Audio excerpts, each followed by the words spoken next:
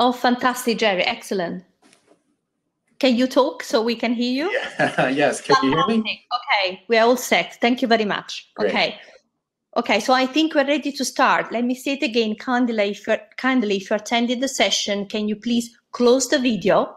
You, and the speaker only will put the video on when they talk. In the meantime, close your video, please, and uh, mute yourself and close the microphone. Fantastic. Okay, so we're ready to go. So thank you very much again for joining this session. So I'll give a brief introduction on behalf of the chair, uh, which is myself, Rebecca, Peter, Simon, Holly, and Varsha. Next slide, Varsha, please. So I'm going to give a very brief introduction about the agenda, which you can see in the page, in the session page, I, I, just put the link. And in the session page, you can also find a link to this slide as well as a link to the Google Doc with collaborative notes. So I'm going to give a brief presentation of the working group. Then I'm going to hand over to Varsha, who will share a set of lighting, uh, lightning talk. And then we're going to have a panel discussion with questions from the audience. Next one. Thank you. This is just briefly uh, to make sure that you all know uh, what this working group has delivered, which is um, a registry of standards, repository, and policy, which are described and connected. And so the output of the working group has been a registry as well as a set of recommendation for different stakeholders on how to use this registry. And the guidance are for consumer, of these standards, repository and policy so that they can discover, select them, use them with confidence because they are described and they are connected. And the recommendation also help producer of these resources, so the developer of the standard, the developer of the repository or of this policy to make sure that they can make the resource visible to people, perhaps even outside their direct disciplines, and so that they can be more adopted, more cited. Next slide, please. In the next slide, it's just a, really a brief illustration of uh, how the registry is being used so far, because that's important to set the context of for this session. So the, the, the, registry is used through its interface as well as is a, a, programmatic access. We have several community who have created, for example, collection of repository and standard that their community has developed, like illustrating the example one by the astronomy. And you can see the graph, the registry provide a graph that shows this standard, this repository and their relations. Example number two uh, shows how policymakers have created their they have this they created their data policy, registered the policy on FAIRsharing, and linked the policy to the standard or the registry they uh, recommend. But more specifically, uh, this shows the educational use of the registry, which help policymakers to see what's out there in terms of standard and registry, but also understand how this resource evolve over time. If there is a new one that come to the fore, they need to be pointed to. The example number three shows how um, a different number of uh, tools, services, resources in the FAIR ecosystem are using the content of the registry, the standard, the description of the standard, the repository, the policy, and their relation to inform uh, their, for example, a fair assessment or uh, to create this knowledge graph or to provide information to users to create data management plan. Next slide, please. This brings me to the reason why we're doing this session. Because of this adoption, this use, we received feedback from different user community that we need to improve the description of these resources, the description of the standard, the description of the repository, description of the policy. And those are description, descriptive metadata that the user want to see in the FAIRsharing registry and perhaps in other registry too.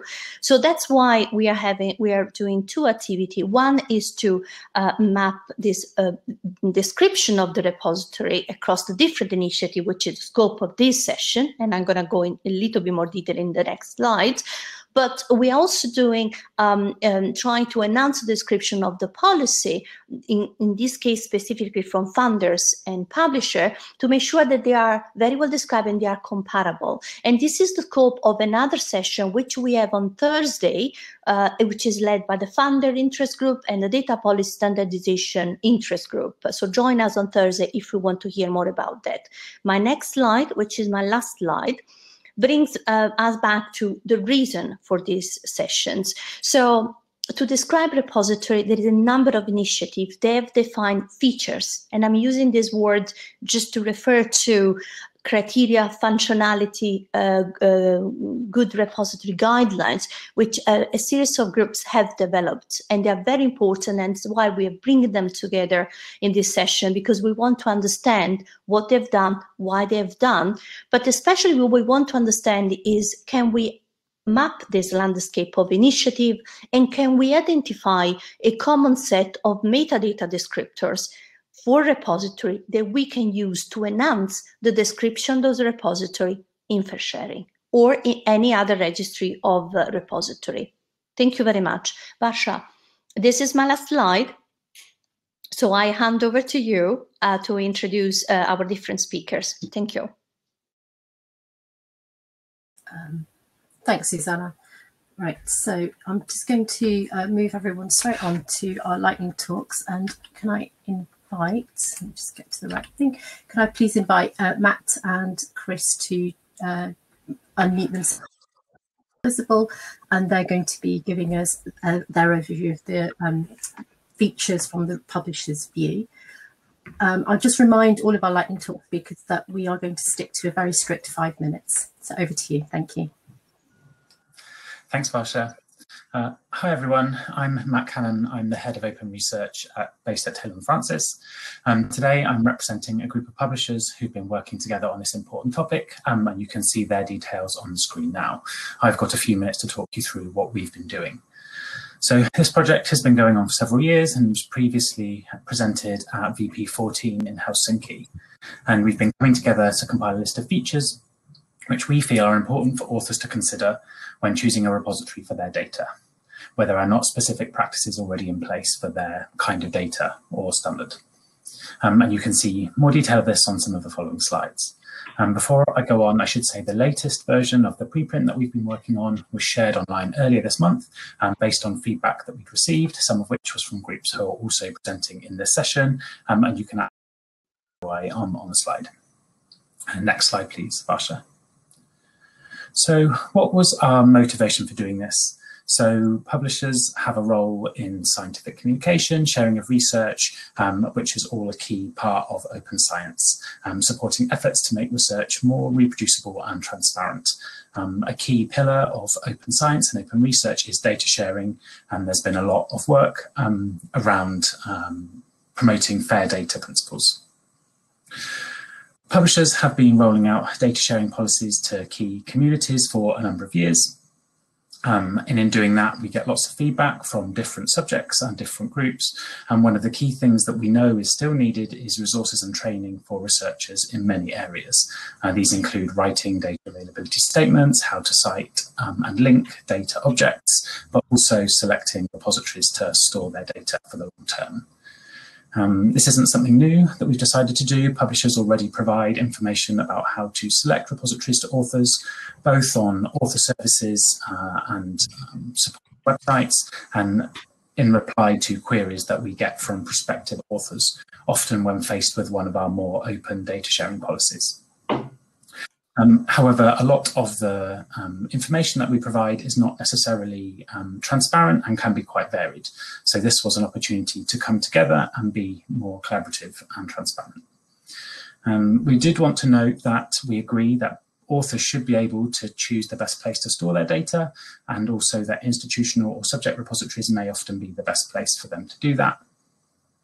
Um, and as publishers, um, we are often competitive in many situations, but um, in this circumstance, we felt there was benefit in coming together to support open science and support authors with sharing their data um, and meet open science goals. And we also feel that working together in this way is more likely to create a simple solution which is easy to adopt.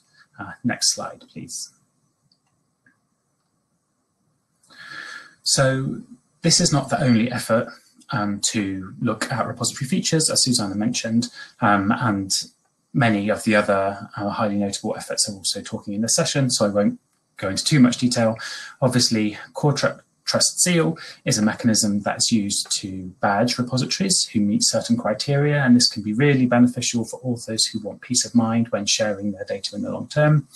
Also, um, COAR have um, been working on their criteria to advise repositories, but all repositories are not just data repositories.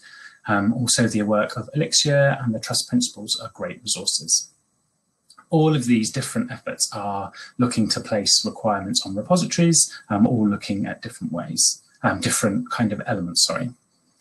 Um, and to show the uh, similarities between the, the different criteria, um, the authors of the preprint put together a table earlier this year which shows um, the, the, the, similarities. Um, so if you go to the next slide, Varsha, please.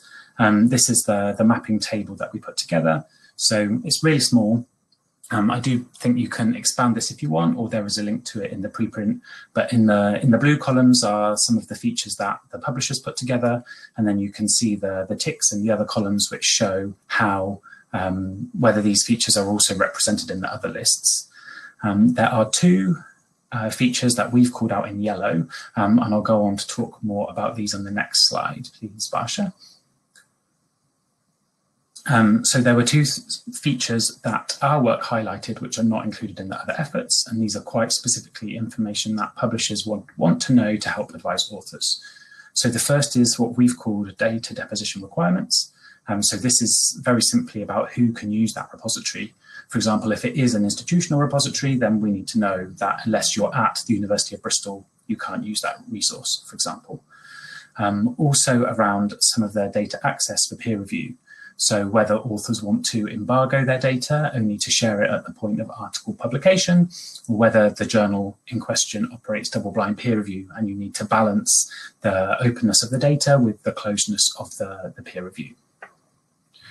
Um, and just to say that in this work, we're really looking to support journal authors, and that's why we've pulled out these key criteria.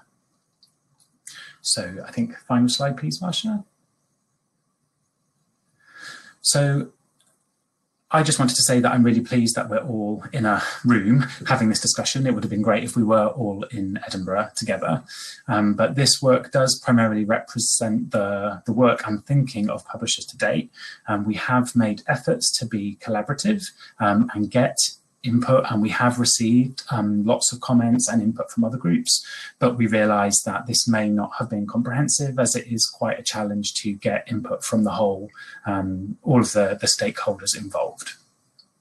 We have recently updated the preprint, which outlines the motivations that we have um, and hopefully provides clarity to other stakeholders. Um, it's still not the version and will continue to be collaborative. Um, and I look forward to the, the rest of the session and the ongoing discussion.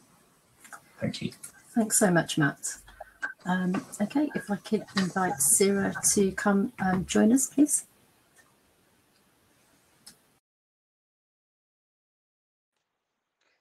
Hello, um, I hope you can hear me. And Varsha, I have deleted a slide and updated the other one. If you could quickly refresh, that would really be great. Thank you. Unfortunately, um, no. I've downloaded no. the slides based on what oh, they were. Okay, thank so you. I'm afraid no, they are as they were. no, so so people should still see the, the link then. Thank you, Varsha. So um, good morning, good afternoon, good evening, everyone. I am Sira Sarah Sarntivijai, and I am representing the Elixir um, data and interoperability coordination work on the technical details at the Elixir Hub. Um, we have, as mentioned before, thank you, Matthew. I really loved your table. Um, the Elixir core data resources selection um, with the criteria mentioned in the, the, the, image here on legal funding, quality, immune, community impact, and scientific focus. These are the criteria listed in the articles that I have put the link here.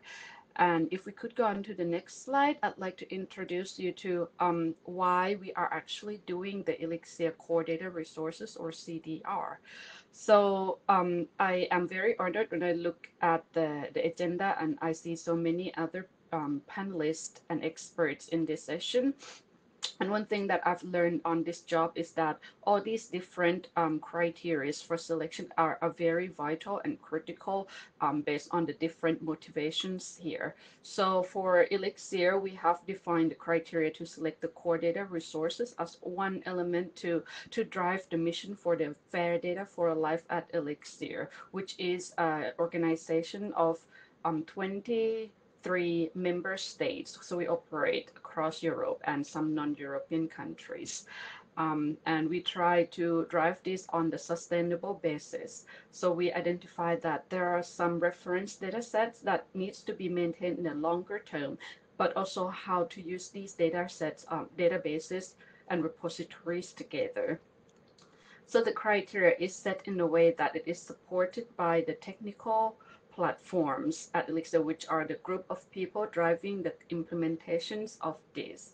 And between this, we have also defined the recommendation, recommended interoperability resources, for example, how to ontology map terms in the data resources, how to mark up your schema um, on the data resources, just so that all this fair data can be completely fair um, or and fair enough to function. So next slide, please.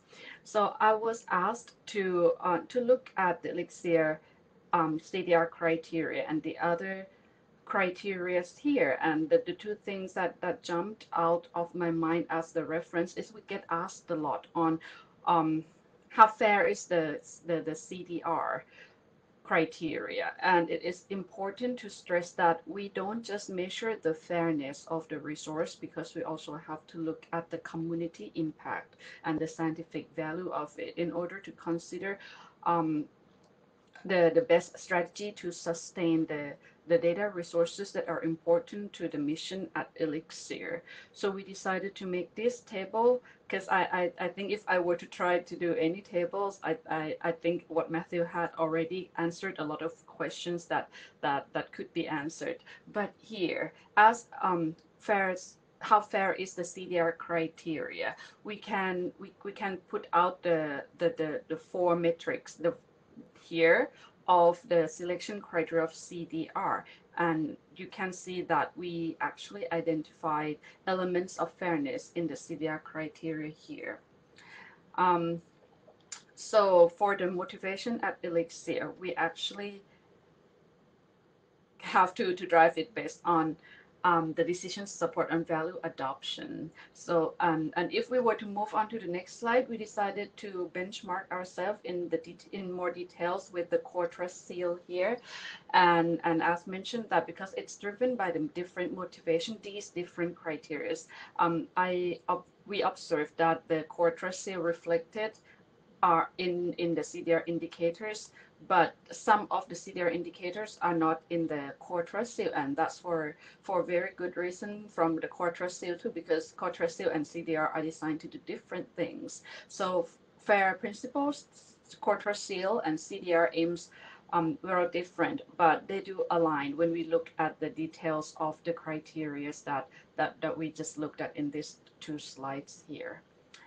If I could go to the next slide, please. So then when I look at the CDR currently, we have the plan to to to try to identify as needed, and these are the current list of the core the core data resources at Elixir. But for the next step, as mentioned, that because we're driving the sustainability of the data resources in the network, we also have been identified as the criteria to be adopted by the Global Biodata Coalition and the collaboration between the GBC and CDR here are vital to the global community, not just within the Elixir network.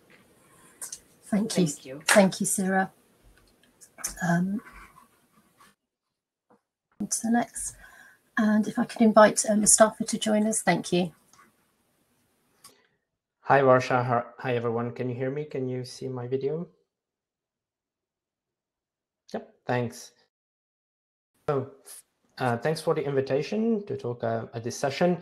First, um, I would like to define a number of key concepts that will help uh, the understanding of the rest of my presentation.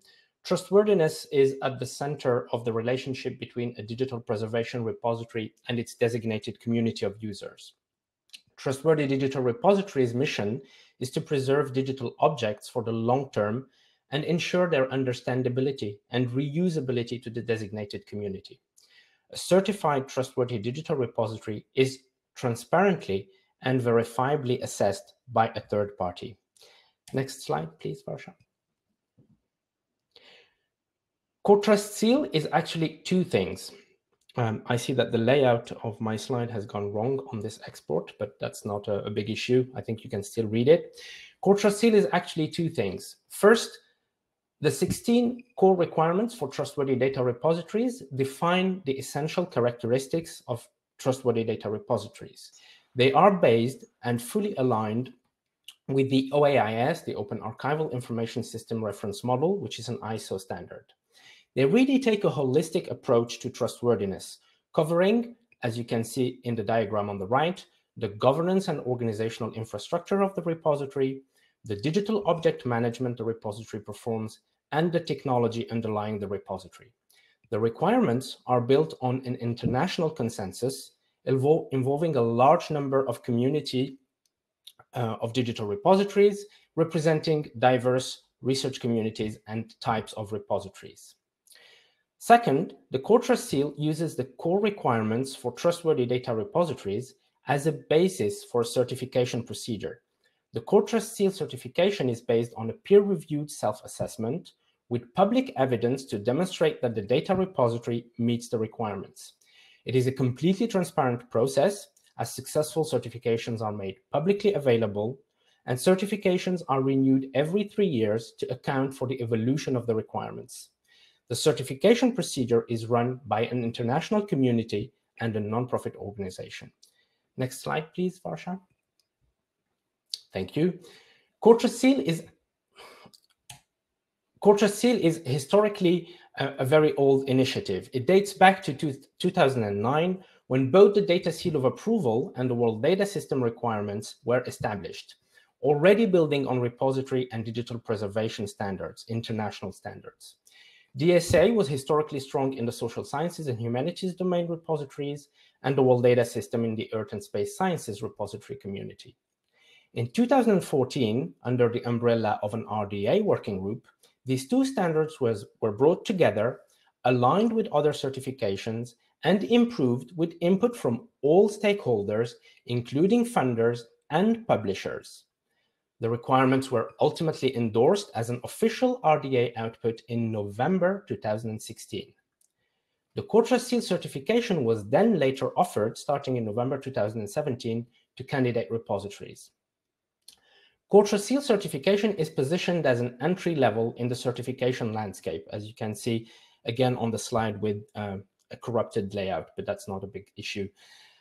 Um, it is positioned as an entry-level certification alongside the Nestor seal and ISO 16363 being more demanding certification procedures. Next slide, please, Varsha. Thank you. Core Seal being an entry-level uh, certification, but at the same time, it is the only trustworthiness certification that has achieved an international and diverse disciplinary uptake. Alignment and convergence, um, as you can see, uh, by the way, on the slide on the right-hand side, there are over 100 trustworthy digital repositories certified with the Core Trust Seal certification. And you can see also the disciplinary and domain coverage of these repositories. At the same time, alignment and convergence on, re on repository trustworthiness, and in particular the Core Trust Seal certification, can be evidenced by their wide and increasing uptake in disciplinary and generalist e-infrastructures, by funders, by publishers, policymakers, and research performing organizations worldwide, as can be seen in the examples shown on the slide. I'm not going to go into the details, but you can see for yourself on, on, on the list there. Next slide, please, Varsha. Thank you. I would like to highlight that the core requirements are implicitly aligned with and complementary to the FAIR principles, as you can see in the mapping showing on the left of this slide. In addition, as FAIR digital objects and FAIR enabling repositories assessments are being developed, Core Trust Seal requirements will integrate these, will integrate these core best practices. Finally, on the challenges and next steps, I would like to insist on the difference between repository good practice requirements and criteria on the one hand, and repository features and characteristics which can be exposed by repository registries in a neutral way by the, on, on the other hand. For repository requirements, the consensus is that enabling trustworthiness and fair data are the baseline. When it comes to repository features and characteristics, there are a number of things that we need to look at, and I'm sure we will be discussing these later in the panel. Thank you very much. Thanks very much, Mustafa. I'd like to invite Marie to join us, please. Yes, hello. Can you hear and see me? Okay, yes. thank you very much. And uh, yeah, good morning, good afternoon, good good evening to all of you. Uh, and thank you very much uh, for the invitation to speak. Uh, I'm talking today on, on behalf of Science Europe, which is uh, the organization representing major public national research funding and research performing organizations from 27 countries in Europe. Um, Science Europe works together with its members to align policies and develop common common guidelines and approaches. And uh, I'm talking about one of them today. Um, could you move the slide, please, Varsha? So the, the one I'm talking to you about today is, is the Science Europe uh, guide on research data management, which addresses two different uh, topics in, in one guide. One is core requirement for data management plans. And the second is the part we're going to talk about today, which is uh, criteria for the selection of trustworthy repositories. Um, this guide we started to develop, and I think that's slight correction I would want to make, which I've seen in the preprint and also on Susanna's slides. We did not publish this guide in 2021. We published this in January of 2019. Uh, the 2021 version is a second edition with an additional chapter, which is not with reference to repositories, but the original guide that's from early 2019. Um, all chapters taken together are matched to, to ensure fair data. I think that's important to know.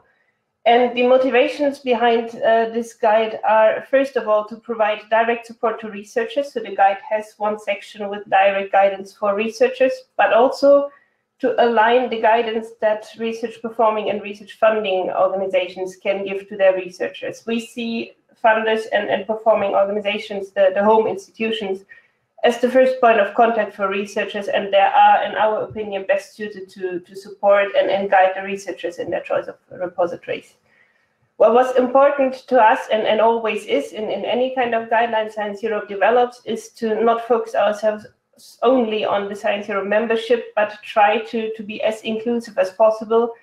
Uh, when we developed this guide in its first edition, starting in January 2018, um, we had a series of, of consultations and meetings and, and dialogue with different stakeholders to make sure that we include as, as many views as possible. Uh, next slide, please, Varsha. So the similarities with other efforts, um, I think the Science Europe guidelines, uh, we, we can say, are based on, on principles and practices that are really broadly accepted by the research community. Uh, Science Europe criteria for trustworthy repositories um, are 15 different criteria grouped um, around four major topics, the provision of persistent unique identifiers, metadata re uh, requirements, data access and usage licenses, and, and preservation. And uh, I think, yeah, let's move to the next slide, please, Masha. Um, these, what I just said, are the similarities with, with other approaches. I think the biggest difference is that for us, it stops there already. We have defined these, these 15 core points alongside four topics. And Science Europe doesn't go deeper than this for, for two particular reasons. Uh, first of all, we think it's important to take into account existing initiatives that, that are there already. And Science Europe and its members would all, always recommend to researchers to refer to repositories first that are either certified, like the Core-Trust Seal, like Nestor, like ISO, um, or that are discipline-specific repositories that have really broadly discipline-accepted standards in place. And the Science Europe guidelines, I think that's the, the difference from perhaps other initiatives, come in second place. The Science Europe guidelines are only meant in cases where a researcher cannot identify a suitable either certified or discipline-specific repository. And we did this, um, first of all, not to duplicate any, any efforts. And, and we've been consulting a lot, for example, with the Core Trust Seal when we developed these guidelines, but also because we think that the researcher and their supporting organizations, be it their home institution or their funder, um, should have the flexibility to choose and have a broad flexibility to choose that is not limited. So while our criteria are far less detailed than others might be, they are in line, but the difference is we, we really limit this to what, what we think is, is core. Last slide, please, uh, Varsha. The next steps, uh, open science and data sharing, yeah, stays a priority for Science Europe, and we will continue promoting open science, include data sharing, the FAIR principles, the trust principles as well. But for us, it's important to take into account existing initiatives. We don't want to reinvent the wheel. If there's somebody already out there by another initiative that we think is uh, is valuable, we'd rather support this and not try to duplicate efforts or work in parallel. Um, for us, this is really an important point to align policies and practices as much as possible for the sake of researchers. Because if there's too many different uh, definitions and guidelines out there, it only uh, creates confusion and does not really support the researcher as it should be. An immediate next step, and also there we've been consulting with other uh, related stakeholders, will be a guideline to ensure sustainability of research data. And there again, we have consulted with other stakeholders to make sure that this is in line. Thank you very much. Thank you very much, Marie. Um, I'd like to invite Dawei to join um, to join the session. Thank you, Dawei. Can you hear me okay? Okay, great. Yeah, thanks uh, organizers for the invitation. Uh, there's a lot of terminology in this session. And first I wanna uh, define what the trust principles focus on and, and then invite you to consider uh, using them to impact. And as uh, said in his book titled uh, Trust uh, Principles, and principles are the ways of handling things that happen over and over again in similar situations. So, uh, so what are in the principles should be the approaches that have repeated successes. And in this respect, the principles are slightly different from uh, core features or characteristics, which imply uh, satisfying a need and making a judgment. And uh, principles do not need to rationalize approaches for a condition. And they are the existing solutions and sometimes just need to uh, rediscover through a different lens. And so the principle should make sense to all the audience that what needs to be done uh, and not necessarily uh, to get the consensus. And and uh, and trust principles are the guiding uh, principles for digital repository management. And it started uh, by a group of data repository enthusiasts and to identify the essence of the most recognized issues and custom in the catchy acronym and trust, which is also the essential value of the repositories and, and trust has been improved over the uh, two years and then released in May 2020 and through a publication in data in uh, uh, Nature Scientific Data. Uh, next slide, uh, Varsha. So the motivation of trust is first to have a unified message and let everybody know and recognize trustworthy data repository are essential. And once that message is received by everybody and uh, even you know by founders or politicians and then we can talk about how to achieve trustworthiness uh, such as following standards or providing features. And the message should also include uh, concise concise and measurable approaches to trust uh, but but verify. And, and, trust is built on top of uh, existing solutions so it's not trying to replace them. Uh, and trust uh, message is to help and promote uh, and and advocate for the the, the trustworthy uh, data repositories. And next slide. And and trust principle seems uh, making sense to a lot of people. And so far we have uh, received like 40 endorsements from all kinds of stakeholders that you can think of, like founders, uh, repositories, and publishers, professional organizations. Uh, please still uh, endorse Trust uh, Uh, if you don't uh, haven't done, done so, uh, and the more the better. And uh, and also I should mention that the Trust is beyond right, RDA, and and the Trust paper has more than 15,000 views and then 35 scholar citations uh, in uh, less than a year. And that has been translated into uh, five languages. And, and now it's, it's sort of become their own life now. and next slide. And the relationship between trust and others, uh, uh, probably we'll talk about today, is that the trust is inspirational goals. And, uh, and then the framework and implementations uh, are on how to achieving these goals. And uh, next slide. And so far, ba uh, based on the survey of the trust endorsers, and uh, and what is the impact that the uh, the trust have so far, and mostly is to reaffirm a leadership's commitment to supporting trustworthy data repository, and also reinforce repository's mission to adhere to the best practices. And, and the message is consistent with the um, uh, with the recent founder support, uh, like the Research Data Canada's sponsored trust uh, symposium, and NIH uh, just released the uh, the funding to provide uh, to to improve the the repository trustworthiness. and and and next slide.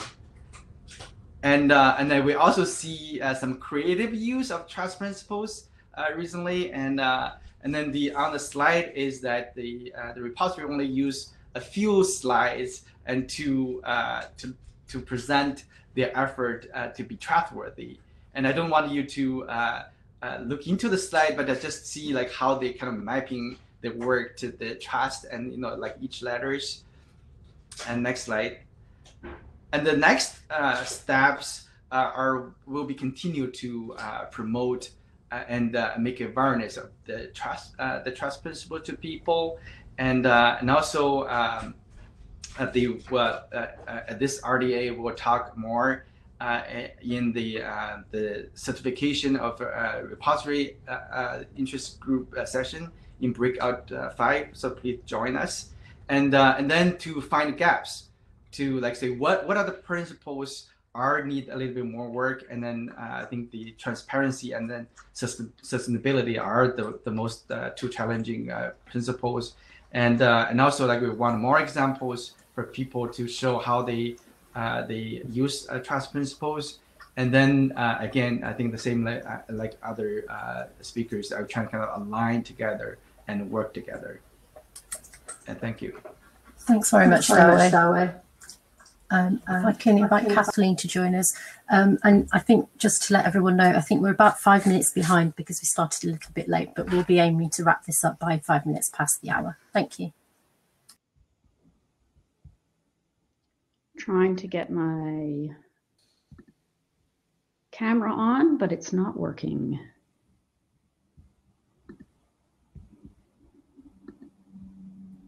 We, we can work earlier. Yeah, we can hear Perhaps you. I'll just go ahead without my camera then. Thank you. Yeah, sorry about that. Um, it's early in the morning here anyway, so maybe it's better not to have my camera on. Um, uh, th uh, thanks, first of all, for inviting me to uh, present in this session. Uh, my name's Kathleen Shearer, and I'm the Executive Director of COAR, which is the Confederation of Open Access Repositories. Um, we're an international organization, um, association. We have members from and partners from over 150 countries um, on all five continents. And we represent a broad community of, of repositories. Um, next slide, please, Varsha. So um, we in it was actually last year that we um, developed this COAR community framework for good practices in repositories, and it was really prompted by two things. One was the OSTP consultation on um, desirable characteristics for repositories, and uh, a second sort of underlying issue was that there are a lot of these um, good practice frameworks around, including, you know, Core Trust Seal and the FAIR principles and so on. But we we had a sense from our community that um, it, they were finding it difficult to navigate these different um, frameworks. So we wanted to bring them together into a single uh, a single framework, and also that the bar was too high for some of these. So I think, for example, the Core Trust Seal is is kind of the gold standard, but many in the reposit many repositories um, are not able to comply with Core Trust Seal practices at the moment. So we wanted to to create a framework that was more achievable for um, the the repository community in general. And you know the values underlying the work that we were doing really was, of course, to improve practices in existing repositories, but also to bring the repository community together um, in a, a, very diverse community together. So we want to ensure that we're creating this global knowledge commons and that we're not, um, uh, again, having a too high of a bar for repositories. so that um, especially repositories in developing countries are dismissed or disqualified from participating in open science. Um, and distribution is key to this, as well as sustainability. Um, so next slide, please, Varsha. So um, the framework um, is, is, similar to other uh, um, other uh, existing frameworks because it's really built on um, recommendations from the Core Trust Seal, from the FAIR principles, from uh, the Core Next Generation repository recommendations. So it's uh, not really bringing anything new to the table, but rather bringing things together from uh, other initiatives. And then what we did was we vetted them with a large community of repositories internationally to see what was really achievable and relevant across a, a large number of types of repositories and region. And I think something that was very important for us was to um, rationalize what we were doing. and this is important for the community to, to, to understand as well. So each recommendation is connected to a specific, specific objective like discovery, access, u- reuse, integrity, quality assurance, and so on. Um, there's been quite a bit of uptake by the community of the, the framework already. Um, it's been translated into eight different languages, and I think it's being used quite actively in, in a number of different countries and regions.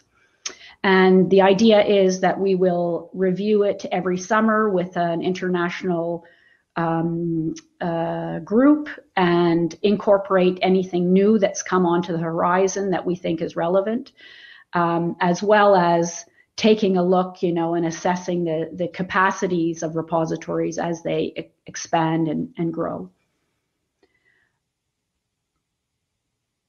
Um, okay, next slide. Thank you. So, in conclusion, I think um, I'd like to echo what Mustafa said. Is um, it's important to understand that there's a difference between features and best practices. So, best practices are really good quality practices in repositories, whereas features are a specific functionality that we would like to um, adopt. Um, and the aim of of good practices in in in our context at COAR is really to again support the improvement of repository operations not to disqualify them from participating in the ecosystem. And um, you know the we have to be very sensitive that if the bar is too high this will be harmful and slow down our collective progress towards open science. Um, so i think you know for example in the developing countries we're not going to see a lot of domain repositories. Open science is going to roll out based on institutional repositories because those are the long lived institutions and organizations in developing countries. So, any global initiatives that's looking to uh, you know, uh, support or define criteria, features, or characteristics really need to understand the situations in different countries and different regions and take note of that and be sensitive to that. So again, like um, I think what we really need to do is strike a balance between uh, adopting good practices, encouraging good practices, but also being inclusive and recognizing the challenges in, in, in different countries and different regions. So in terms of next steps, um, uh, I, I, think my next steps here are really about how we can work together as a community to move forward with our various initiatives. So I think really we need to build on the existing best practices that already exist, like Core Trust Seal. We need to clearly explain and justify any new recommendation, recommendations we want to introduce into the community, and we need to consult with the community widely, ensure that um, developing countries are part of the conversation, and that all feedback from the community is shared publicly. Thanks. Thank you very much. Thanks very much, Kathleen. Um, and if I can ask uh, Jerry to um, unmute himself and to make his camera visible if possible. Thank you so much, Jerry. Yep, thank you. Pleasure to be uh, part of the panel today. Uh, so I'm going to give you a perspective from the, the National Institutes of Health in the United States, from the NIH, uh, but it's also going to provide some insight into activities that are taking place across the, the U.S. federal government, particularly the science funding agencies. And um, you know, of which there are there are more than 20 agencies that uh, that provide funding for research and development in in all fields of science and technology. What motivated uh, a, a, lot of this work, people may uh, recognize, is that at the end of October, NIH issued a uh, a new data management and sharing policy that essentially requires any uh, researcher seeking funding from NIH to provide a data management and sharing plan that outlines the kinds of data to be collected in their studies, the way that they will preserve it for the long term, the ways that they will make it accessible uh, to the research community, taking into account necessary limitations. And as part of that, an expectation that data would be managed and shared in established repositories. Uh, we recognized as well from a lot of the public consultation that we had done that there was uh, would be a desire as a need in the community for greater guidance and direction about how do I identify, how does research identify a, an appropriate repository uh, for their research data. And so in some of the, the so-called supplemental information that was released along with the policy, NIH outlined something of a, a three-part tiered strategy for selecting a data repository that's summarized here on this slide. In some cases, whether it's for particular kinds of data or around particular research funding programs, NIH may in fact designate a particular repository. If you're receiving funding for a project of this type, the data should go in this repository on these timelines and so forth. The, the second tier then was recognizing there'd be a lot of data for which we would not have a specific designation, uh, but there's a preference for putting data in the discipline and data specific repositories. And in fact, I have a link on my slide here to a, to a list that NIH keeps of, of data repositories that NIH supports that are open to submissions of, of relevant data. And that's the, the second tier. We then realized too, there was a lot of data that wasn't going to fit in those 80 or so uh, disciplinary repositories that are on that list. And so we, we called for um, or allow for the use of other repositories that meet what's called a set of desirable characteristics. And this set of desirable characteristics, in fact, we hope will apply to, to the, the upper echelons, if you will, in this hierarchy as well, uh, but lay out some guidelines for a researcher in choosing a repository, whether they're going to put it in a, in a generalist repository, in an institutional repository, or other that might be uh, present in their, their discipline. So let me walk through those with you quickly. So let's go to the next slide. To say that these desirable characteristics were worked out across the federal agencies, and some of you might have, um, I think was mentioned already, the OSTP request for comment. The, the motivations for for doing so was to come up with a consensus set of characteristics of, across the U.S. federal funding uh, bodies, so we provide more consistent information to the research community about how to how to choose uh, a data repository. Thought this would make life simpler, uh, less complex for researchers, and a way to, to ensure that the criteria were aligned with uh, fair data and fair data principles, as well as our own data management and sharing expectations And in a way, I say on the slide in the bottom point, raising the standards for existing repositories. In some regards, it's like lowering the or raising the floor. So we want to ensure that repositories meet a basic set of characteristics, noting that there'll be some that exceed them by quite some margin. Let's go to the next slide. So the general framing is we identified a number of high level, what we called characteristics. Some of them could be considered features, but they're not a, an exhaustive set of design criteria. We don't tell you how to implement uh, these characteristics in a particular repository. In fact, we anticipate that implementation would vary considerably across repositories, depending on which disciplines they serve, the kinds of users and so forth that uh, make use of the repository. We tried to come up with characteristics that could be somewhat enduring, but noting that we would update them uh, as technology changes and in particular as data sharing practices continue to evolve. And to the extent possible, I'll say we based them on existing uh, certification criteria and others, recognizing that those certification criteria might, might represent a, a high point in implementation. Let's go to the next slide, please. So I don't want to dwell on the on the individual characteristics themselves. We identified some that would be present for all data repositories. I think consistent with many of these we've seen in previous presentations, assigning persistent identifiers for a whole host of good reasons, uh, having broad measured terms of, of, reuse. So a dozen characteristics here that you can try to compare with some of the other uh, presentations we've seen today. We also, let's go to the next slide identified additional criteria that we thought would be necessary for repositories that have human subjects data, uh, ensuring that the fidelity to the original informed consents approaches for protecting privacy and security uh, and, and, and, detecting breaches of, of uh, privacy and security principles and so forth. Let's go to the next slide, which I think is my uh, last. So next, uh, for next steps, so as you've seen, NIH has adopted these desired characteristics into the policy that it issued.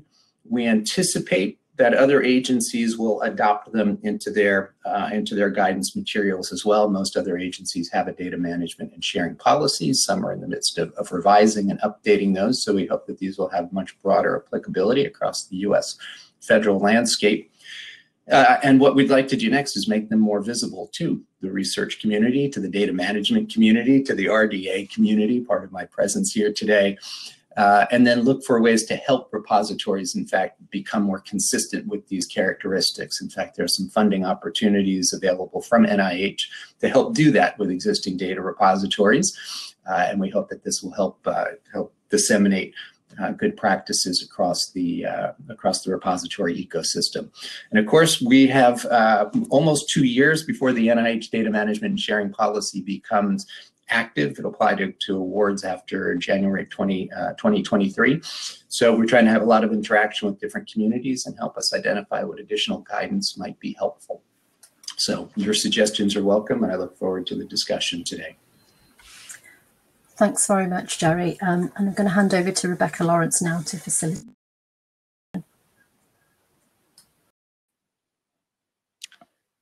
Thank you. Hopefully, I think my camera's decided not to work as well, so apologies. Hopefully it'll start working shortly. Um, so can I ask all the speakers to come um, onto the screen? And actually, Varsha, I think we probably can stop sharing the slide for now, that we can see each other. Hopefully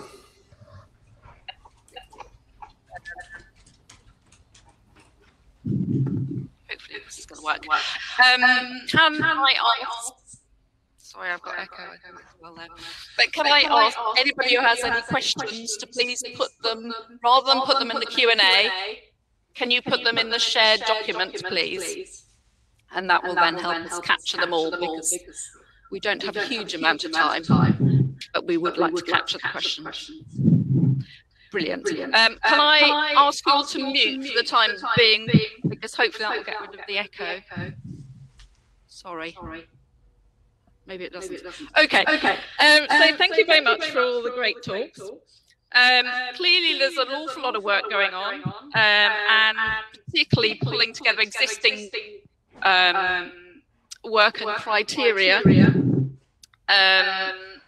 to bring about consensus within your individual areas.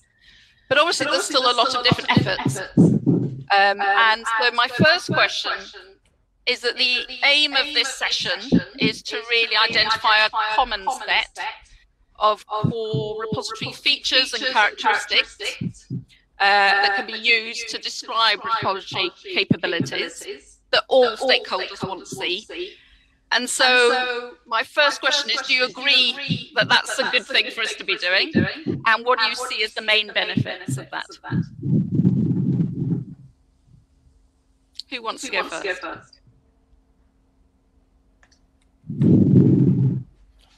I, I, can, start, Rebecca. Well, well, despite, despite the, echo, I hope this is going to be an understandable discussion anyway. So if so we're, if talking, we're talking about, about, core features and characteristics to describe repositories um, and not to put any requirements on registries, then yes, I would say it's um, it's a good thing to do. Um, and as it happens, we have already um, a good starting point with existing metadata schemas to describe repositories in registries like um, re3data and FAIRsharing. Uh, as you said, there is already work ongoing regarding the requirements for good practices, but I see again this is quite different from features and characteristics to describe repositories in a neutral way in registries. So um, in terms of the benefits, definitely if we are able to describe repositories in an appropriate way that would satisfy many stakeholders in re repository registries, this would greatly facilitate finding an appropriate re uh, repository for users. Uh, basically, if the more you expose the characteristics and capabilities of repositories in those registries, the more you facilitate um, for the users the selection of repositories based on the criteria they feel are important for their data set. Not all data sets need the same level of care and curation. Um, not all data sets will have the same uh, funding, uh, oh, sorry, requirements coming from funders or requirements coming from the disciplinary community needs. So yeah, if we're talking about characteristics to describe repositories and registries, definitely coming up with a, a, a common set of uh, uh features and characteristics to describe these repositories in the in in in, in the best way would benefit the community. Great, thank you, Mustafa. Who who else would like to speak? Do you want to put your hand up and then I can go round you, Kathleen? Yeah, thanks. So, I mean, just building on what Mustafa said, I, I think, you know, encouraging. So, I would say it's important to encourage good practices. That's e extremely important. Um, it's it's really about how those feet how they're being applied and uh, whether they're going to be applied in a way that again disqualifies a large number of the existing repositories. So again, I think what we want to do is really promote good practices. I mean, I love that NIH has funding to support um, adoption of good practices in the repository community. But if it, it, uh, we need to be very, very sensitive about how they're applied because, you know, at the moment, we don't have enough repositories to support widespread data uh, sharing and data management. We have probably, I don't know, 10% of the repositories that are needed. So we need a lot more repositories to su support data sharing and data management in a very comprehensive way. And therefore, if we, we uh, like I if the bar is very high and it's applied in a very strict way, then what we will end up doing is um, inhibiting the the um, the adoption of open science uh, widely, and that will especially impact developing countries. It will have an impact on you know our ability to um, uh, achieve the sustainable de development goals. It will have a, a, a, a, quite a negative impact all around. Yes, makes a lot of sense. Do I? Sense. Do I? Yeah, I think I think I just want to uh, I uh, top, uh, on top of what Mustafa and, and uh, Kathy said. I think the uh, to identify a core set of characteristics is a useful thing, but uh, we also need to recognize it is a evolving thing. It's not like we get this thing and then we're done. And then that's a, and also I think what the trust principles is about is and and Core Trust Seal is evolving as well. So uh, I, I think that is is more sort of like the uh, what is the uh, the current major current needs, and uh, once we identify them, and then uh, then we we kind of work on that and improve uh, them in the in the future. Jerry.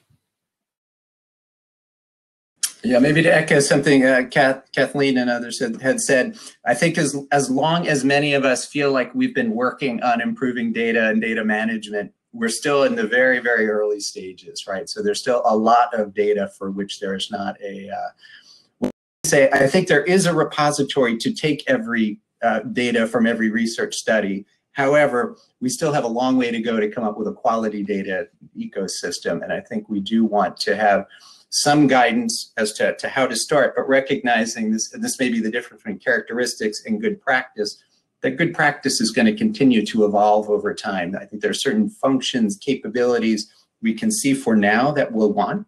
Have a persistent identifier. There are good ways and not so good ways to do that.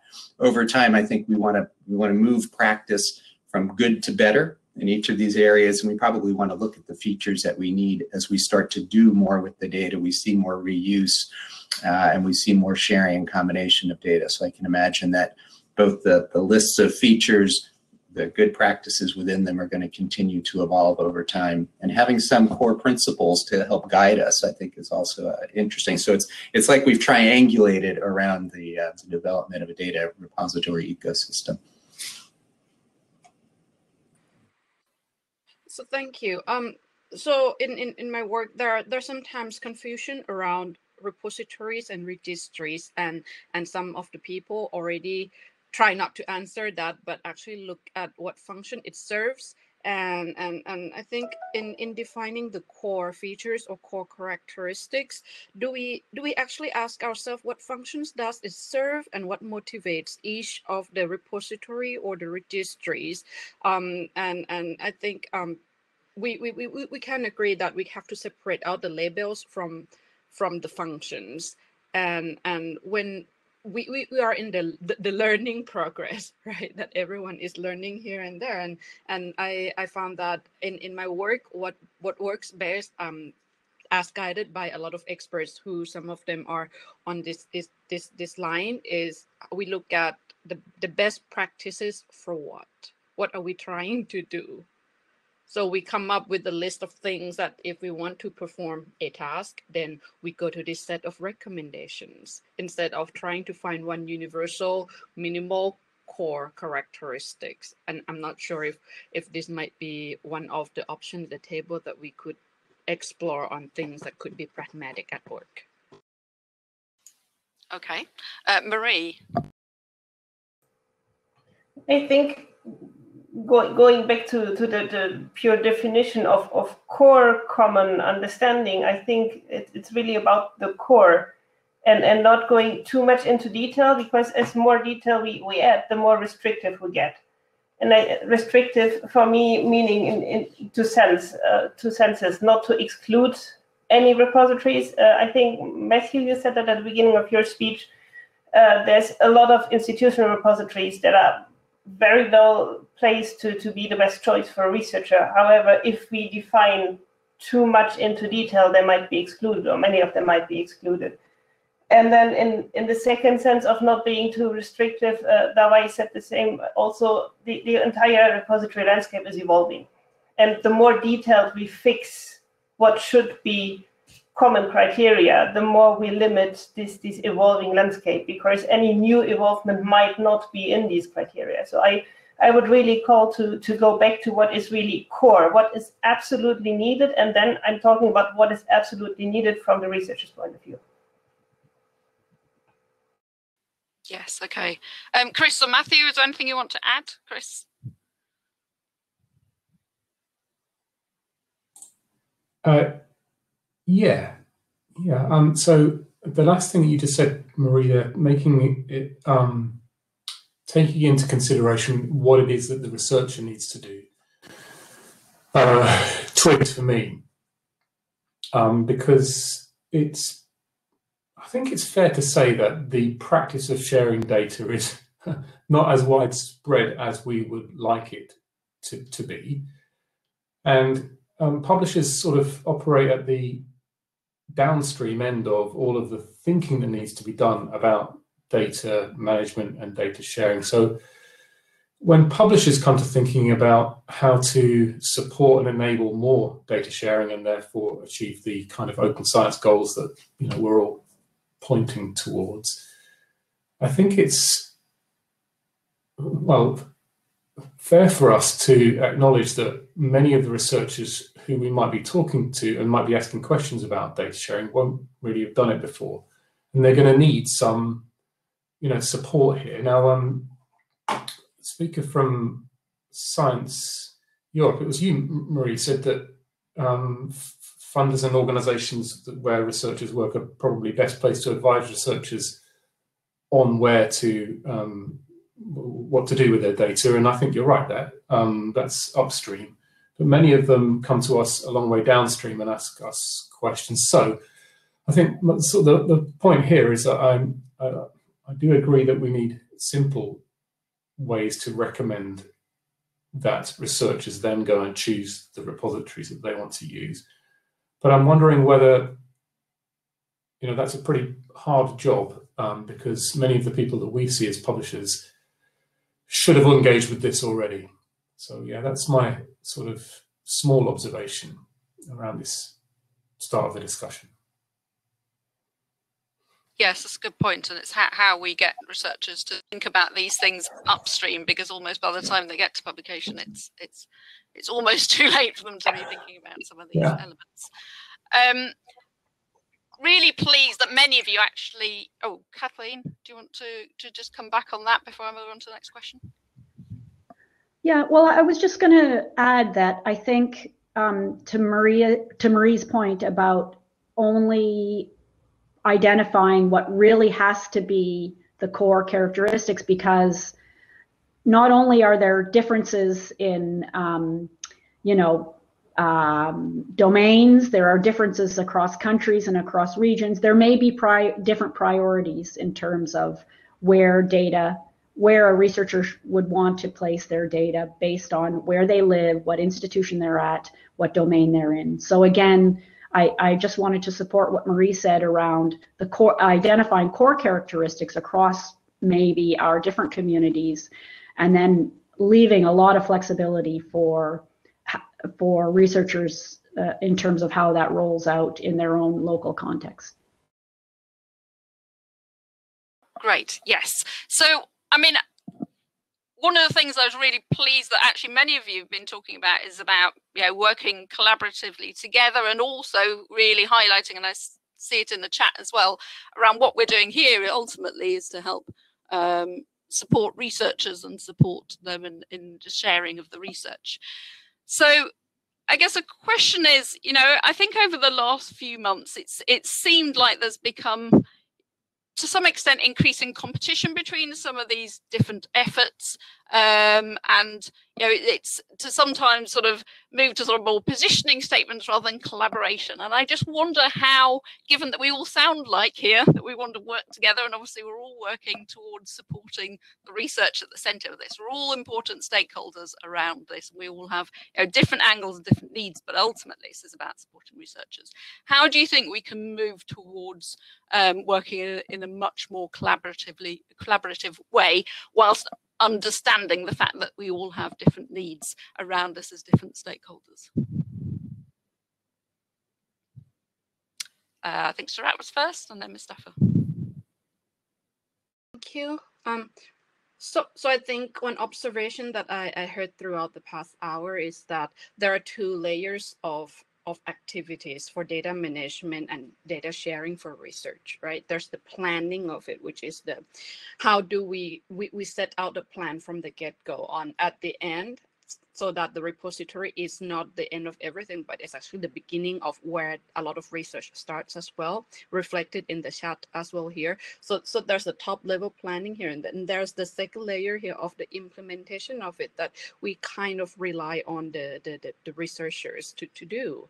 And, and I think now that we have seven, eight people on the panels looking at different criterias, I think it might be helpful to look at how we how we set out the, the research data management in the first place and we answer ourselves again what what what do the researchers for this specific problem are looking to do and then from from that plan we can we can start teasing out which best practice or recommendations or which criteria we could we could go forward to. And and and therefore we we, we aren't really having a competing interest here because as i mentioned that the way that i look at the different criteria here we're we're, we're driven by different motivations and mission.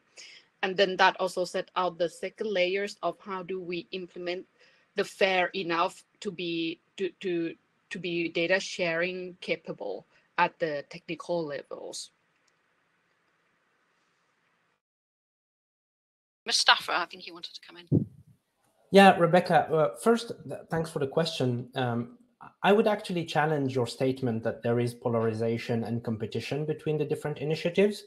Uh, I think we've seen, and the, all the presentations that we had are a good evidence for that, that there is convergence in, in the community around good practices for repositories. This is um, something that has emerged uh, quite some time ago in, in the field of data preservation, in the field of um, um, fair data management more recently. So there is already convergence in the community. So I, I don't think there is competition and polarization. And if you're alluding to uh, the recent position statement that was issued by a number of organizations recently in response to the criteria that matter paper, this was exactly because there was confusion and it seems there is still confusion between the different people involved here in the discussion between what we talk about in terms of features and characteristics to describe repositories seen from a registry um, perspective and good community, uh, good practices, good community frameworks for repositories. For the, the, the frameworks for good practices for repositories, I think this is legitimately an area where repositories and their users, the researchers they serve, are in should be in the driving seat in defining those, those good community practices. And other stakeholders are obviously involved in this, such as publishers, and they have needs. They need to fulfill some needs in terms of interconnections with repositories and so on. And the, and the publishers can be part of that dialogue and that discussion, and they can say, we need these needs to be supported for this and that reason, and we need to, this to be integrated maybe in good community um, uh, practices. So I think there's no polarization, no competition. I think there's collaboration already, and um, and it's open as it was evidenced before. The requirements are open for input from stakeholders, so they can be improved. And so this is one side of the equation. The other side being the characteristics to describe the repositories. And I see this as something that should be completely neutral. When you describe repositories, you describe them in a neutral way. And you use for that a metadata schema and that's it. And, and registries can uh, discuss this, and maybe we can take this discussion forward later. Thank you, Mustafa. Thank you, Mustafa. Mm -hmm. Sorry, my echo's Sorry, back. My echo's Chloe, back. and then Jerry. And then Jerry. Uh, yeah, I think I, I want to also, uh, I think, uh, address the question from the point of view is uh, it's not about competition; it's about the messaging. And I think the like for example the uh, the data repository standard has been there for decades. Uh, the OAIS has been coming from the space uh, science and now it's like, using by all the disciplines. And the Core Trust Seal is based on that. And so so I think what the challenge is is now there's a lot of fields and uh, they cannot understand the language. So they kind of like mapping it really to use their domain knowledge and the main language to redescribe what is the core things that already have consensus by the community. I think there's a that's the element I see is the challenging right now. I think there, like you know, actually, for example, biomedical field has not been using certification at all, like in the past three until the last uh, the the three years ago. So the uh, and then now have the repository certified, and then have the examples, have the languages to to, describe what is the core functionality. So I, I want to think the uh, to bring the attention that see how if we kind of say the the uh, the same thing with different languages and how we kind of uh, unified with the you know with our thought, and that's what the trust principle trying to to do. Is you know like so we don't have a lot of uh, uh, uh, the principle, just just you know try to unify the language. Thank you, Jerry, and then Kathleen. Yeah, I'll, I'll be brief. I mean, I think I'll go back to my kind of early days comment again, even though we feel like we've been doing this for a long time. The um, right NIH just issued its its its data management and sharing policy, updating something that had been around for what since 2005. I mean, I think what you're seeing are, are different uh, stakeholders who are all trying to sort out the situation, right? And I can say that from the, the US government side, within NIH, we knew if we wanted to move forward on data management and sharing, putting that at the beginning of the process, not at the end, as, as some were saying, we needed to come up with some better guidance for our community to help them uh, to, to facilitate and enable uh, data management and sharing, helping them sort through the, the, the data repository choices that they have. So, I mean, we did aim to be inclusive in the process. We, the OSTP request for comment that went out, I think did a reasonably good job, as, as well as those kinds of processes can do, of bringing in a diverse set of perspectives. We heard from publishers, we heard from research communities, we heard from other other funding agencies and so forth. So I think you can look at that as a as a first step from a, a funding agency side, but an aim to be as we see now what the, the publishers have, have been putting together. And I think there are other groups represented here that have been working in this space. It's sort of like we now have the, the bases for figuring out new ways to collaborate and to come up with commonality because uh, to me, it's easy to talk about in, in principles. Yes, we all want fair data repositories, but as you see, we are all coming at it from slightly different angles, right? From features to best practices to characteristics. I think there's a lot of commonality across them at a, at a certain level. And of course, down at the, the details, there may be some different words and language. So I think we can now almost take the set that we have today. And I you know, compliment you for putting together this panel, which is very inclusive of a lot of views. Can we come up on something that, as people have been putting in the chat, the research community buys into because we're trying to support them I'd say we're trying to support other data users as well, some of whom may be outside the research community, so to speak, but others who are going to make use of the research data that we have. And how do we come up with ways that are, you know, reasonably simple, allow continued innovation and evolution in the, the data repository ecosystem, but in ways that all the communities can support and find serve their needs. So let's let's do it. Sounds good, Jerry. Thank you. Kathleen. Yeah, I mean, I just wanted to um, uh, also mention this uh, position statement um, and why we issued that position statement. I, and I think um, so. One of the issues really is about how these criteria, and I mentioned this earlier, how these practice, good practice criteria will be applied. And I think that was a major concern um, when the publishers um, came out with the um, uh, selection criteria that matter, it, there was a big concern that they would be applied in a way that would again disqualify uh, a, a, large portion of the existing repositories. So I, there's two issues here. There's one, what are the characteristics that we all agree on? Um, and we may have some that we all agree on and some that we we have that are um, unique to our own communities. But then the other issue, which is very important, and can have a really practical impact on on um, the repository community and, and researchers' access to repositories is how those are applied in practice. So I think we need to have both of those things on our um, our uh, plate to discuss with each other. Yes, and I know Matt wants to come in. I guess one of my points was really about how we we discuss these things together, and maybe you know the, it, it, you know if there were concerns around some of what some of the, the groups are doing, whether it's better to have a conversation around it rather than sort of you know really put it up at a high level where it where it's then everybody putting statements out.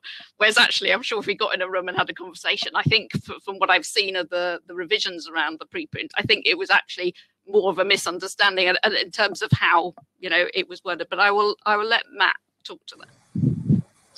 Yeah thanks rebecca. So yeah i think i just wanted to well, firstly, just echo and support what Mustafa said initially, and then Jerry following on. I think there's definitely room to be collaborative. We definitely want to be supportive, and we all have different stakeholders and different groups that we're supporting, probably sometimes the same people at different stages of their research process. And I think it's even more important that the advice that they get at all the stages of their process is the same and complementary rather than them being told different things by different people at different stages of the process. Because as people have said in the chat and people have said in the questions, like there's still not enough data in repositories. We still have lots of work to do to get more people doing that. And we all have levers that we can pull, um, whether that's, yeah, putting in data management plans, whether it's getting material out of supplementary files and into proper repositories. And obviously there'll be things to, um, yeah, things that we can all do to, to work on that. And I would agree with Rebecca that part of the thing that Chris and I are trying to say is that we're happy to be in a room and have this these conversations because we think there is a problem to solve here. And we're, we're happy to do that collaboratively. Um, and would rather not be having to issue statements and things. So yeah, I think we're here to work collaboratively.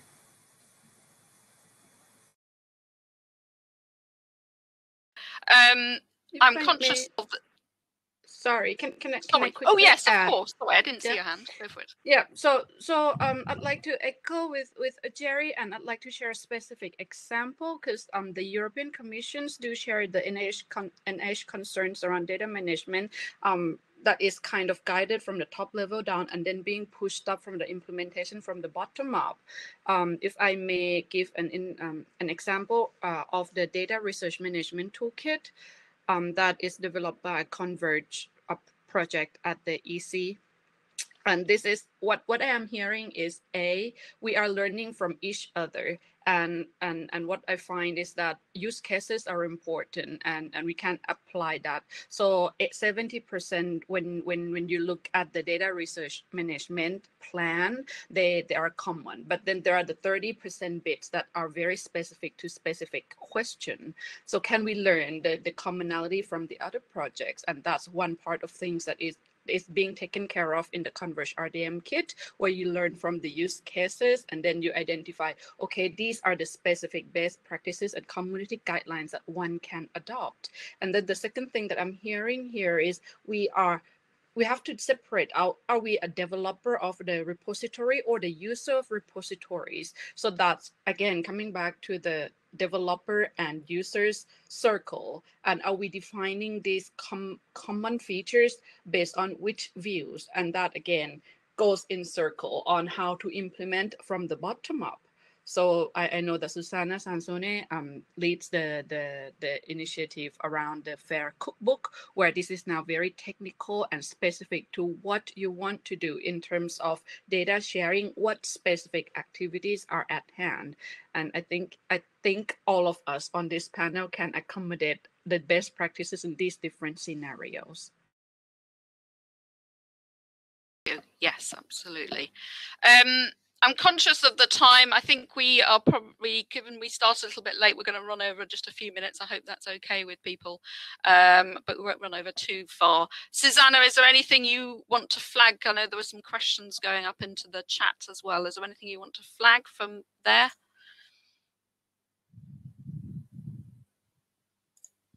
sorry, I put my my my audio on. Well, not particularly. Yes, there is discussion about uh, where to continue the conversation. Uh, there is a group of people that say we need a new group. Uh, well, I was wondering, uh, do we need a new group? I mean, certainly, obviously, the work was initiated and by the for working group, which obviously it's also important and is kept in because the, the rationale was exactly to uh, understand how to extend the registry, which is an adopted output. So we'll be definitely very open and interesting to understand how we move forward in this sense. So that we open to people. Yeah. Oops.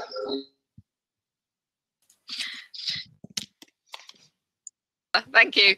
Um, so maybe um, if we continue, I mean, as you say, there's there's a number of, of um, uh, mentions in the chat, but also many of you have, have suggested, you know, and, and, seem to agree with the idea of trying to put together a really core, core minimum um, set of features and characteristics that we can all then, um, you know, have our additional um, elements that we need for our particular um, uh, stakeholder group.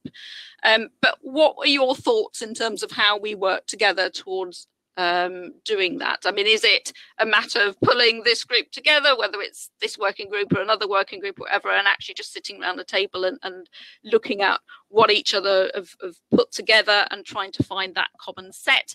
And are there other groups that need to be in this conversation that you're aware of that aren't uh, in it? Uh, as we, as we we sit here today, we need to pull in Mustafa and then Marie.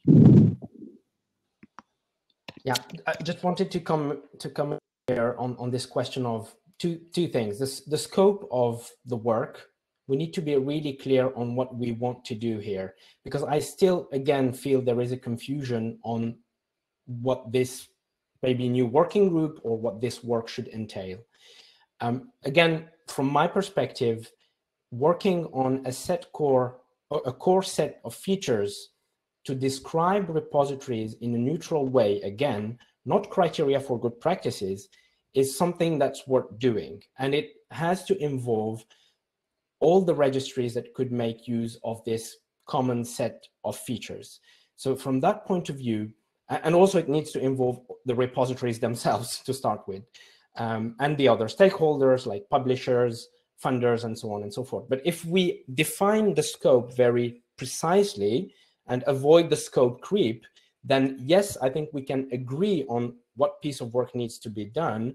And I would, uh, um, I would advocate that a new working group is needed because it involves more registries than just FAIRsharing. It involves the repositories, it involves many stakeholders, and I think they need to be brought into this discussion on the core set of features to describe repositories. Mustafa. Uh, Marie, I think you had your hand up. Uh, yes, I, I, think I can be really short because actually Mustafa said everything I wanted to say as well. So just to, to underline, and, and we did that in our latest statement uh, from the Science Europe side, we are very open to, to sit around the table and discuss in whatever format if there is a clearly defined scope. And I would really like to underline also looking at the panelists today, uh, the repositories should be around the table. And I think they are not well enough represented for this topic for the time being.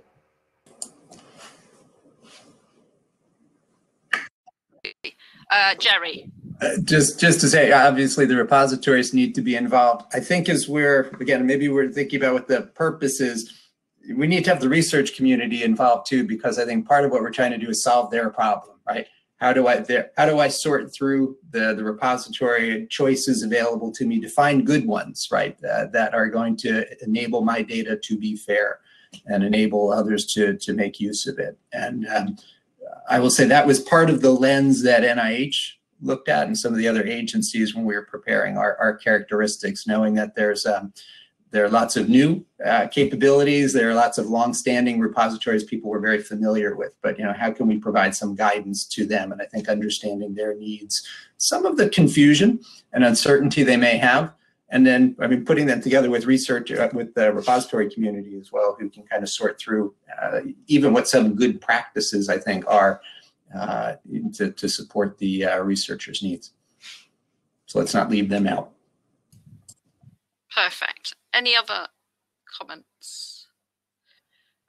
Chris.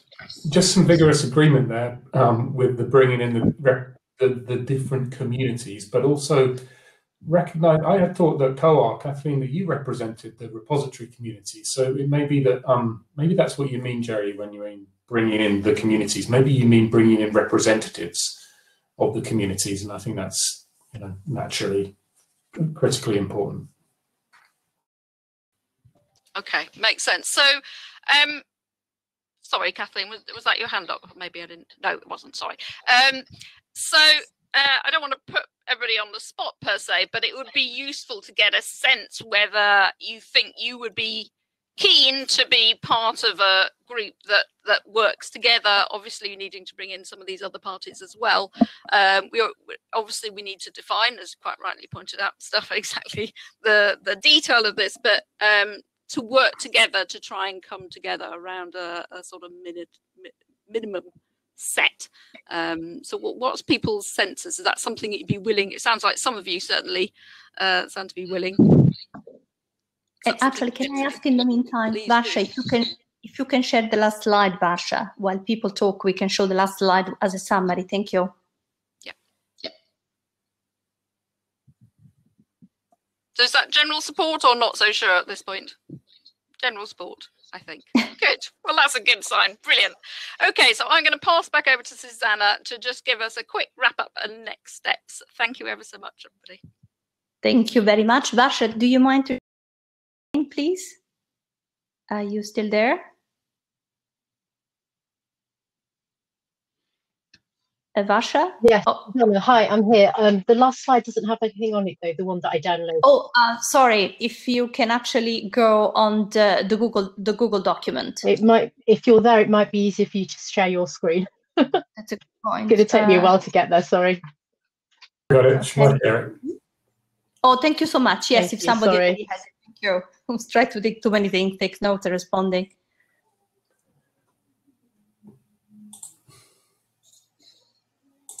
Yeah, I think it's very good idea, Joy. If people can add support and interest in participating in the notes, that will be great. I was also suggesting that people will indeed register. Yes, thank you so much. If you can put in presenter mode, that will help. I'm trying. Uh, So in the. In, the meantime, I can uh, quickly go over what I took as a very level uh, summary. So uh, there is a willingness to work together. Uh, there is a willingness of identifying this core characteristic only by leaving the rest to the different group. Fair enough that they're doing. The idea of bringing all parties essential uh, repository owner, we all agree, as well as other relevant registry, absolutely. Uh, so there is also need for clarifying feature versus best practice, and perhaps we could work together on those defining those terms. Uh, we all agree that we need to be very sensitive how we apply those ultimately, especially when registry apply them.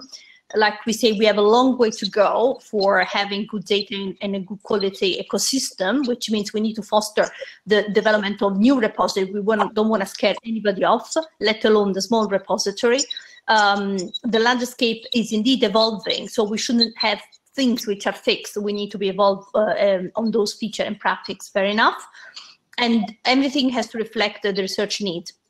In terms of next steps, obviously this working group it's in maintenance mode. Uh, there has been a discussion of converting the group in an interest group, but I'm very open if people want to create a new interest group or a new working group. Obviously, uh, as FAIRsharing activity, we would like to be involved. Uh, perhaps as a direct next step of this uh, session and the panel, and thank you very much for Laura to attend and present, we could write up a summary of the, the very quick summary of the discussion with the speaker and any interest party to make sure we clarify the wording and we present these different efforts and we define this terminology, feature best, best practice. And that can be the base of this new group, working group or interest group. I will definitely in the meantime suggest that you register to the uh, working group mailing list so that we make sure that we can share the information, we can share this report and we get engaged and we get the discussion going in whatever group will be next.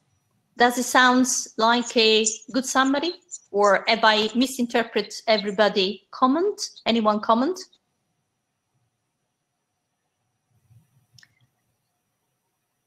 Okay, don't hear anything. So I'm assuming then uh, everybody it's you know agrees and it's happy with the conclusion. So thank you for the the plus one in the chat. Well, with this, I really would like to thank again. Uh, first of all, my uh, um, uh, fellow chairs, as well as all the speakers, especially those who woke up very early in the morning, put the slide together and presented. And thank you all for you to attend. Thank you very much. Okay, thank you. Thank you, everyone. Thank you all. Bye. Thanks a lot. Thank you. Bye.